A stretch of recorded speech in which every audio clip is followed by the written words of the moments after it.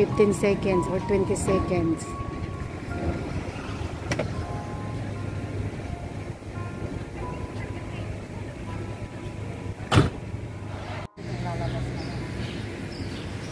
Ipapalit din ako ang cellphone.